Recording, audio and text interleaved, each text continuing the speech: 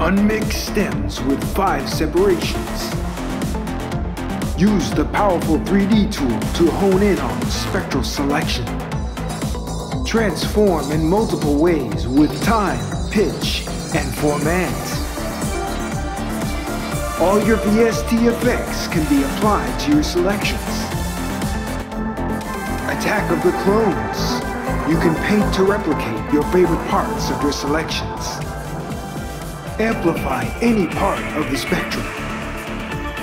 With countless methods of selection. With additive and subtractive selective capability. Lock to the BPM grid. D-bleed, DS, D-everything, and many more processes.